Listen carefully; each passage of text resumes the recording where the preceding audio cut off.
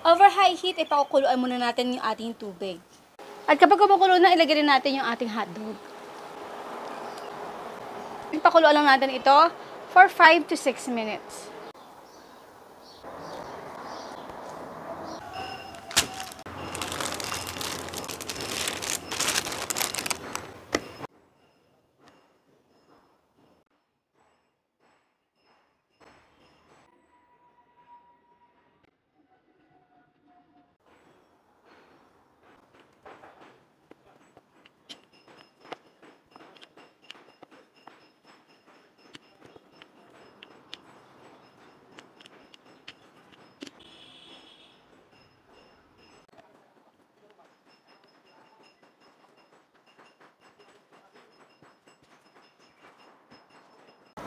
Sliced cheese, yung pang burger na ginagamit natin.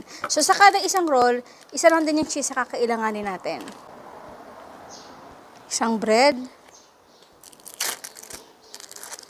Isang cheese. Mas maganda sana kung ilalapat natin ng maigi. Okay. So, dapat talaga ay hugas yung ating kamay. Okay. Tignan yung ating hotdog. So, hindi siya akama, guys. So, mas maganda kung maglalagay pa tayo dito ng isa pang cheese. Pero okay na naman din yan. Ilalo lang natin. Tubig lang po ilalagay ko, ha? Hmm. Tapos, diin natin ng konti. Yan, di ba? Alam mo mga kagrabe, masarap na masarap talaga ito imerenda sa mga chikiting. Especially, ah, yung mga nagagawa natin dito sa bahay sa ang sarap grabe. Pwede pa pwede itong ibenta. Especially kung talagang nagba-barbecue na kayo. Yun tinda nyo. Ah, pwede pa pwede itong isama sa inyong mga menu. At talagyan nyo na ng barbecue sauce. At ah, yun, i-grill ninyo kasama ng yung mga ano, tinitinda mga ulam. Diba? Magandang idea. At least may flavor pang barbecue flavor.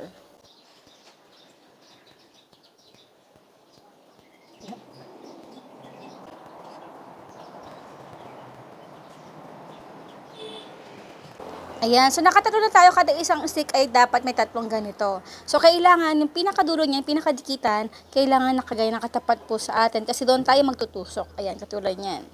Para kahit bumuka siya, meron tayong support.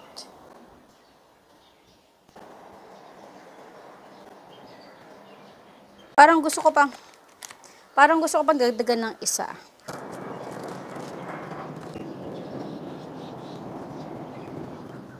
Tutugan natin.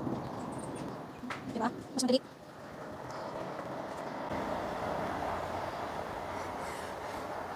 Wow. At ang ating next step, magpain tayo ng ating ah, flat pan. Mas maganda kung flat kasi ah, para hindi sumayad yung ating ah, stick dito. So, maglalagay ako kahit mga 2 tablespoon or 1 and a half tablespoon ng ating butter. Then, maglalagay tayo dito ng ketchup. So, basically, parang tayo gumagawa ng barbecue sauce, pero easy way. So, 1 tablespoon, 2 tablespoon, then kaunting soy sauce. Maglalagay din tayo dito ng kaunting sugar, paminta, chicken powder. Konti-konti lang. Then, syempre, haluin lang natin ito. Tapos ito guys, hihintay lang natin ito na kumulo at ah, malapot-lapot lang kaunti. Then, tsaka natin ilagay dito yung ating bread rolls. Siyempre, huwag ah, kalimutan na pahiran yung magkabilang side ng ating bread rolls. Hmm, ako, gugustuhan to ng mga chikiting talaga guys.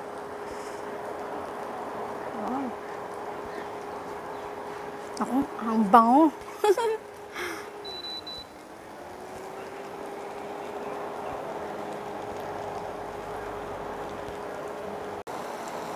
Wow, yung cheese.